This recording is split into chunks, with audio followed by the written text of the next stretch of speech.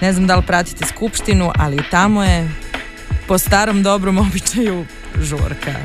Skupština Srbije ko osnovna škola, majke mi imala sam takav osjećaj juče dok sam ih slušala i gledala i posle što smo ovde, gde smo, je zbog ovog. Sram vas bilo, gospodine Stefanović.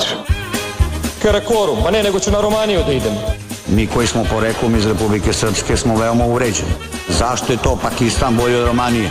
Da opomenete svoju poslaničku grupu koja dok govore poslanici opozicije kaže u mikrofon ne se Pa ne čini Barberi Maramica političara. Pa je to sve zbog toga što ne može da se popneš navalu? Da vidimo ko je danas na sednici Skupštine pod dejstvom alkohola ili bilo kojih drugih opijata.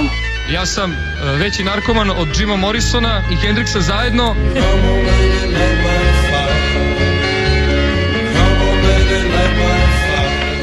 E da, onda sam shvatila da onako drugarski želim da im preporučim pravu stvar da se prepiru koliko god žele da oni koji to ne žele i ne moraju da slušaju. Rešenje se zove hate book radi ko Facebook, samo što ljudi na ovu mrežu dolaze kad žele da mrze sve i da izraze svoj stav o tome.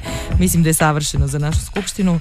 Kažu ovi što su smislili Hatebook, evo pa javno mrzite sve što inače mrzite. Hatebook povezuje hejtere širom Srbije, ali i sveta mogu ovi naši internacionalnu političku karijeru da naprave, a probajte i vi ako se osjećate ko ovi naši poslanici. Kako to izgleda, pogledajte na Facebook strani Dan sa Vesnom. Radio S.